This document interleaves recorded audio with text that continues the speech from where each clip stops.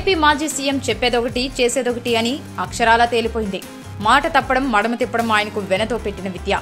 ఎన్నికల టైంలో తమది పేదల ప్రభుత్వమని పెత్తందారులపై పోరాటమని ధర్మపన్నాలు చెప్పేవారు మాజీ సీఎం జగన్. వాస్తవానికి ఆయనే పెత్తందారులకు పెద్ద బాస్ అని జనం కామెంట్ చేస్తున్నారు.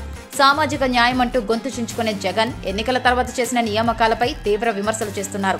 వైసీపీ ఐదేళ్ళ పాలనలో బీసీలకు న్యాయం చేయలేదని నమ్ముకున్న వారికి తీరని అన్యాయం జరిగిందని వైసీపీ నేతలు ఆవేదన చెందుతున్నారు. మాజీ సీఎం జగన్ ప్రతి మీటింగ్లో నా ఎస్సీలు నా బీసీలు నా మైనార్టీలంటూ గొప్పలు చెప్పుకునేవారు. తాజాగా జరిగిన నియామకాలను పరిశీలిస్తే జగన్ పెత్తందారి పోకడ కనిపిస్తుంది. వైసీపీ శాసనసభ పక్ష నేతగా జగన్మోహన్ రెడ్డి వైసీపీ రాజ్యసభ పక్ష నాయకుడిగా విజయసాయిరెడ్డి వైసీపీ లోక్సభ పక్ష నేతగా మిథున్ రెడ్డి పార్లమెంటరీ పార్టీ నేతగా వైవి సుబ్బారెడ్డిని నియమించడం విమర్శల పాలవుతోంది. పార్టీ పరమైన నిర్ణయాలు పదవుల విషయంలో మాత్రం ఆయన తన కులానికే ప్రాధాన్యత ఇచ్చారని బీసీ నేతలు మండిపడుతున్నారు.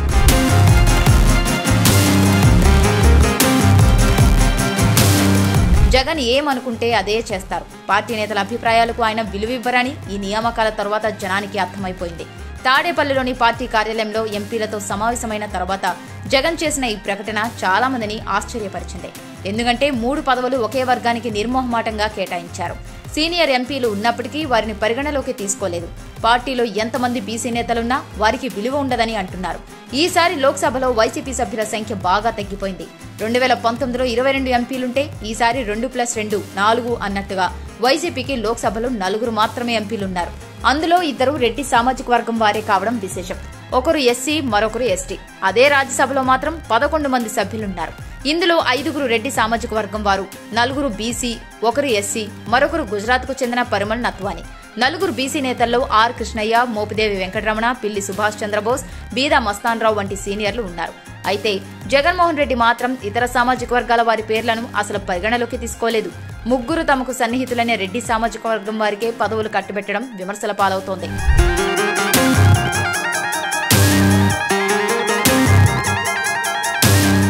నెల్లూరు ఎంపీగా పోటీ చేసి ఘోర ఓటమి పాలైన విజయసాయిరెడ్డికి ప్రాధాన్యత తగ్గించారు. గతంలో విజయసాయిరెడ్డి పార్లమెంటరీ పార్టీ నేతగా ఉంటూనే రాజ్యసభ పక్ష నేతగా పార్టీ వాణి వినిపించేవారు. మిథున్ రెడ్డి లోక్సభ పక్ష నేతగా ఉండేవారు.